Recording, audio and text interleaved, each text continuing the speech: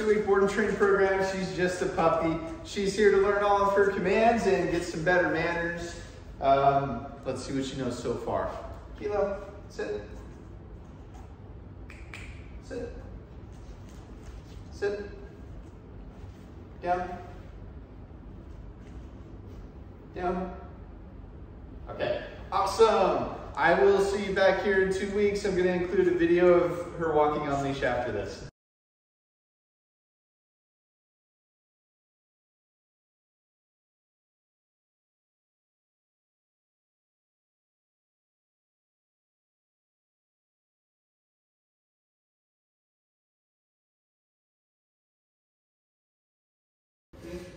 Hi everybody, this is Tyler and Kilo. We're back after two weeks. Kilo did fantastic. She's such a cute girl. She's a really good puppy. She knows all of her commands. She can do them on and off leash, in the house, and out in public.